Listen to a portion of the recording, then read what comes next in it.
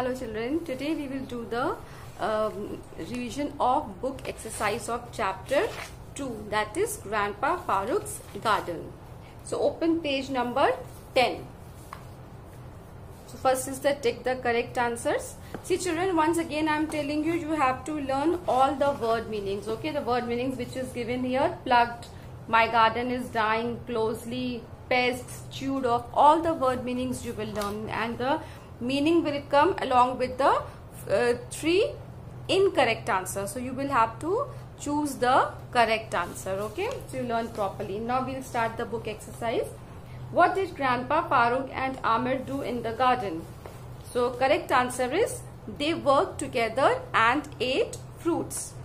The pests in Grandpa Farooq's garden were correct option is eating all the plants. You have done well. Oh my boy, you have done so well. What did Amir do? Correct option is C. Amir collected ladybirds that would eat all the pests. So 1C, 2B, 3C.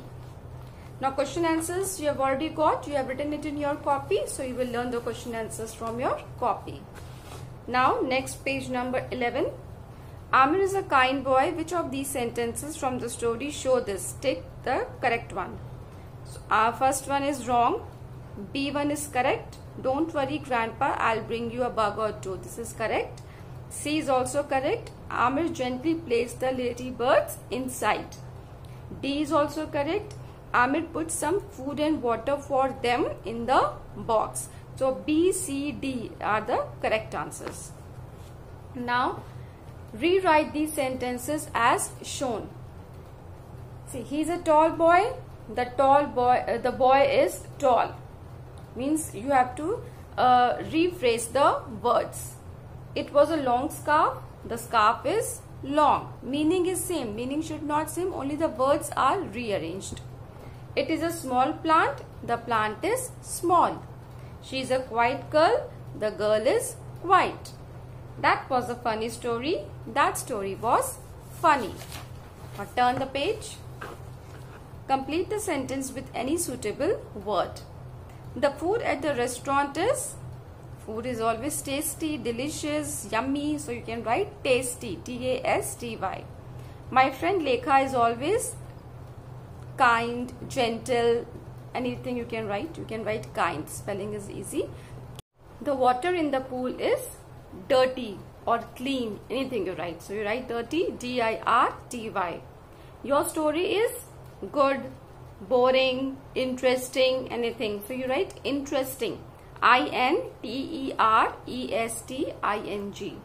The sand on the beach is hot. Now, next one. Complete these sentences with the words in the box. Mary was shocked to hear the news. She couldn't believe it. It is already given in the box. You can just see and mark it. I visit my grandmother every week. I love to spend time with her. Vishal and I are on the same team. We work together on projects in class.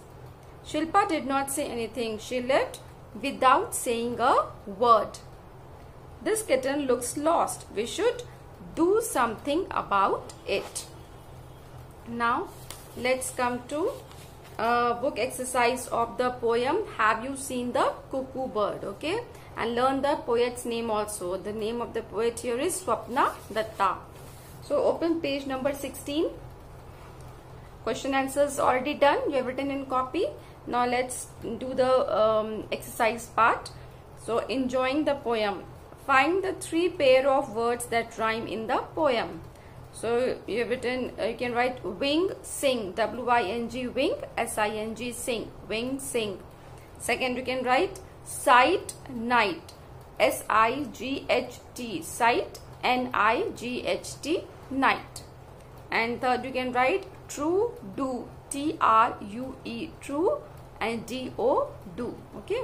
So wing sing sight night and true do. These are the three rhyming words. Rhyming means what? When it sounds same. Okay? That is the rhyming word. Second question Add another word of your own that rhymes with these. Bird, you can write third or curd, anything. T-H-I-R-D, third or C-U-R-D, curd. Close, you can write nose, N-O-S-E, nose or T-O-E-S, toes, anything you can write, okay? So this is the book exercise of these two chapters. So next uh, day we will do the next chapters. Thank you.